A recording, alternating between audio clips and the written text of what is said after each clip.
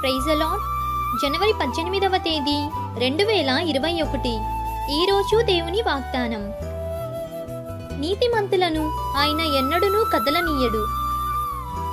కీర్తనల గ్రంథం యాభై ఐదవ కీర్తన ఇరవై రెండవ వచనం. నీవు కదలకుండా స్థిరంగా ఉండాలంటే నీవు దేవుని మీద విశ్వాసం ఉంచాలి. దేవుని కృప ద్వారా మనం స్థిరంగా నిలబడేందుకు దేవుడు సహాయం చేస్తాడు. ఆయన కృప ద్వారా మనకు ఎన్నో ఆశీర్వాదాలను దయచేశాడు. ఏసయ్య నేను మీపై నమ్మకం ఉంచాను మీరు చేసే గొప్ప కార్యం కోసం ఎదురు చూస్తున్నాను ప్రభువా అని నీవు ప్రార్థించగలిగితే దేవుడు నీ పక్షంగా కార్యాన్ని జరిగిస్తాడు. కాబట్టి ఈ దిన వాగ్దానం మీ అందరి జీవితంలో నెరవేరాలని కోరుతూ దేవుని సువార్త పరిచర్యలో మీ సహోదరి. ఆమెన్. God bless you.